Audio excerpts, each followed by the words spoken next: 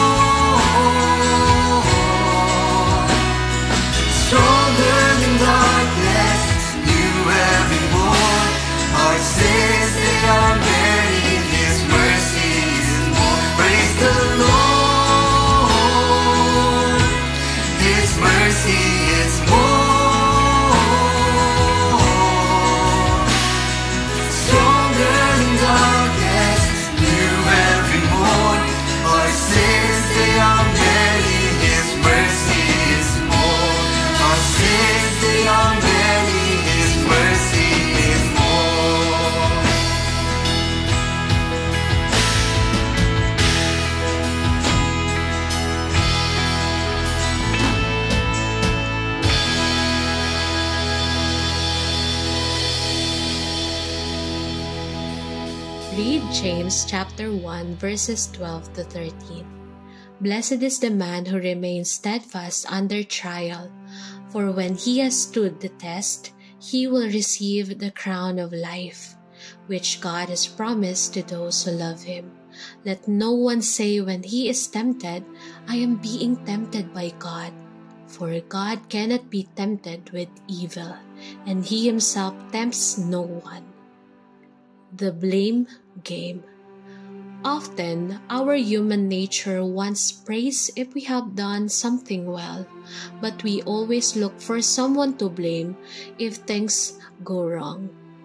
The blame game started with our original parents. Adam blamed God for giving him Eve, who tempted him.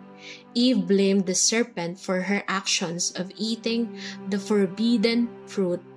We like to blame our mistakes on the devil or our spouses, children, employees, employers, and even God Himself. However, the word sin brings us to a sense of responsibility that we have done something wrong and we are responsible for our actions. In Galatians chapter 5 verses 19 to 21, Paul gives us some list of sins sexual immorality, impurity, debauchery, idolatry, witchcraft, hatred, discord, jealousy, fits of rage, selfish ambition, dissensions, factions, envy, drunkenness, orgies, and the like. Many of these sins can't be seen from the outside. Our flesh is often in constant conflict with the spiritual things God desires in us. We can go to church and look like pious Christians, but we are just putting on a mask in reality. Jesus said that the sins inside our hearts could destroy our lives. Sin is a serious offense against God. To summarize, remember the four principles when we sin. 1. We should not blame others. 2. Take personal responsibility for our actions. 3. Repent. And for, By His grace, never repeat it again. Our sin and His holiness cannot go together. Prayer Lord, I admit that I am a sinner. I am not perfect and I take full responsibility. Forgive me and please Lord over my life. Thank you for your grace. In Jesus' name, amen.